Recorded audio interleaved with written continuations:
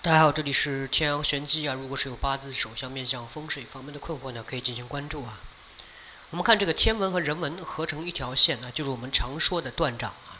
但是又有一条线横插一脚啊，这个是这个切断了这条线，使之变成假断掌，就是智慧线的分支啊。对于女人来讲，假断掌要比真断掌好啊。说明呢，既有断掌的事业运势，又没有断掌女人的这种强势和苦命啊。龙虎相配，手形配合，还形成了旺夫的格局啊。这是假断掌的一种。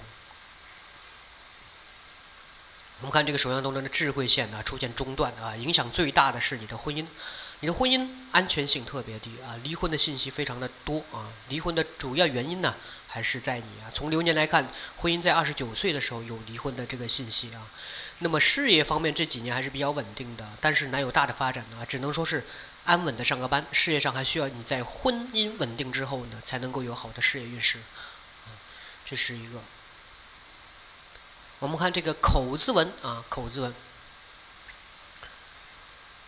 这个感情线上出现口字纹呐，也就是小小的四边形啊，这种代表感情上容易出现问题，因为出现在主线上，可能是因为感情婚姻问题而。这个有口舌之争，官司口舌啊，所以说出现口字纹。如果是无名指下方这个太阳线是非啊，这个这个特别长，甚至会超出你的感情线。这个太阳线呢叫成功线，也叫这个代表你的事业会有非常大的成就，而且有名声非常不错啊。不过你的感情线出现这个倒纹啊。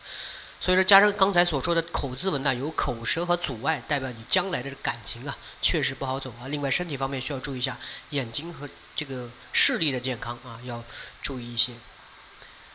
好了，有关这个纹路呢，就简单的分享到这里。这里还是天阳玄机啊，如果是有八字、手相、面相、风水方面的困惑呢，可以进行关注啊。我们下期再见。